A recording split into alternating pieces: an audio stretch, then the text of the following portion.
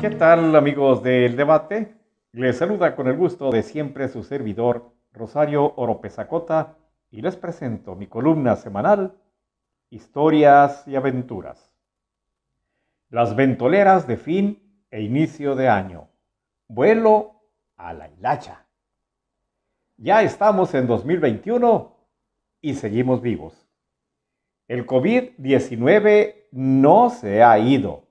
Así es que a seguir con todos los cuidados que ya conocemos. Han cambiado mucho las formas de darle vuelo a la hilacha con la ventolera de celebrar la despedida del año viejo y abrirle el zaguán al nuevo.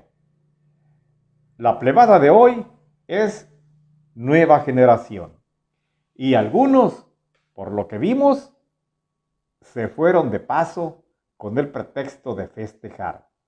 Amanecieron sin cuidado alguno, hechos bola, y tome y tome, con la música a todo volumen y sin respeto para el vecino.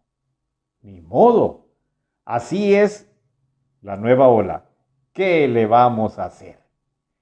Cuando yo era un pollón tierno, uy, dijo el coyote, solo en una ocasión nos aventamos la tandariola de amanecer y fue un feo primero de enero.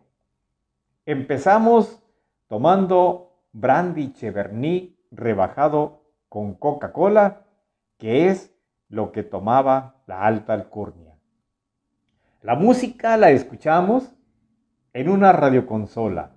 Eran discos de Javier Solís, José Alfredo Jiménez, Los Babies, Los Solitarios, Los Abson, Los Alegres de Terán y para echar el bailongo, Miquel Laure y sus cometas. Bien alicuzados, estrenando pantalón gacela y camisa cachito, más unos bostonianos de charol que nos dejaron con las patas ampolladas.